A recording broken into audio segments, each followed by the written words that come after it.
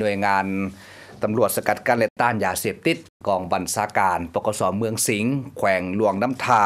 ได้ลงแก้ไขกลุ่มที่ลักลอบค้าขายยาเสพติดต้นเดือนกุมภาปี 2020หน่วยงานสกัดกันต้านยาเสพติดปกสเมืองสิงห์ได้หับแจ้งจากพลเมืองดีบา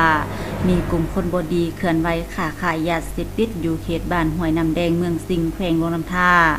จากนั้นจึงได้สมทบกับหน่วยงานสืบข่าวและองค์การอัยการประชาชนเขตทรง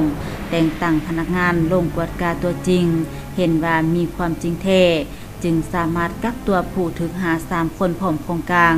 ซื้อเท่า มังยางอายุ 45 ปี อาชีพบางงานปัจจุบันอยู่บ้านภูหลวงเมืองสำเนือแขวงหัวพันเท่าเยอลองอายุ 49 ปี อาชีพชาวสวนและ เท่า โซจาอายุ 60 ปี อาชีพบางงาน ทางทรง อยู่บ้านห้วยน้ำแดงเมืองสิงห์แขวงโลน้ำท่า มาดำเนินการสืบสวนสอบสวน ผู้ถึกหาทั้ง3คนได้หับสารภาบาผ่านมาได้ห่วมขบวนการสื่อขายยาบานำกันมาแล้วหลายครั้ง จุดประสงค์แมนเอามาไว้เสพและขายย่อย ให้กลุ่มผู้เสพภายในบ้าน